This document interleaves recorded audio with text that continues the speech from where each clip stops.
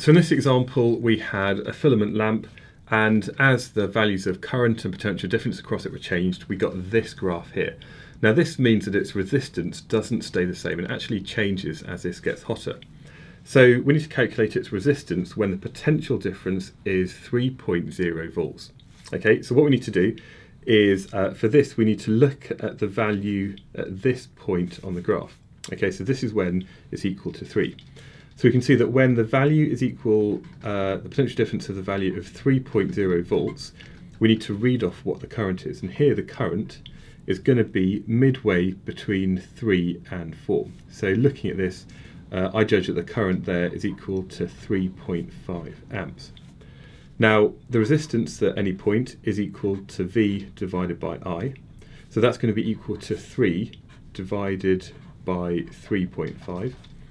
And again, to work that out, to just use my calculator. And this gives a value of 0.857. So I'm just going to say that at that point, the resistance is 0.86 ohms. So in order to work out uh, from this graph here the value of the resistance, we're not taking the gradient. All we're looking at is a ratio of V to I read off from the graph.